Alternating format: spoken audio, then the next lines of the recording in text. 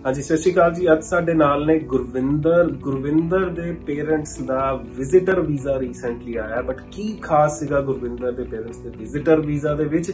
ਇੱਕ ਗੁਰਵਿੰਦਰ ਤੋਂ ਜਾਣਦੇ ਹਾਂਜੀ, ਗੁਰਵਿੰਦਰ। ਹਾਂਜੀ, ਸਤਿ ਸ਼੍ਰੀ ਅਕਾਲ ਜੀ। ਪਹਿਲਾਂ ਸਾਰਿਆਂ ਨੂੰ, ਮੇਰਾ ਨਾਮ ਗੁਰਵਿੰਦਰ ਜੀ ਇੰਡੀਆ ਤੋਂ ਲਗਵਾਈ ਸੀਗੀ।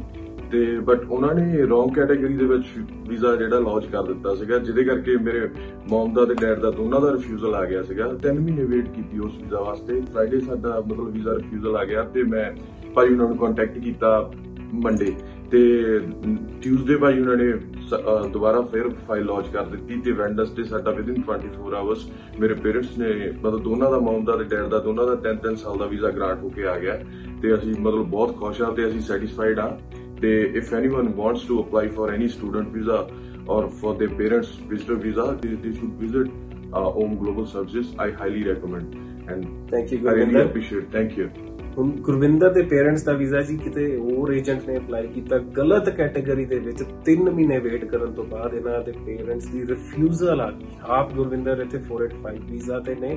ਜੇ ਤੁਸੀਂ ਵੀ ਆਪਣੇ ਪੇਰੈਂਟਸ ਦਾ ਵੀਜ਼ਾ ਕਰਾਉਣਾ ਚਾਹੁੰਦੇ ਹੋ ਜਾਂ ਕਿਸੇ ਵਿਜ਼ਿਟਰ ਸਟੂਡੈਂਟ ਜਾਂ ਕੋਈ ਹੋਰ ਮਾਈਗ੍ਰੇਸ਼ਨ ਰਿਲੇਟਡ ਇਨਕੁਆਇਰੀ ਚਾਹੁੰਦੇ ਹੋ ਤੁਸੀਂ ਸਾਨੂੰ ਕੰਟੈਕਟ ਕਰ ਸਕਦੇ ਹੋ। ਧੰਨਵਾਦ। Thank you thank you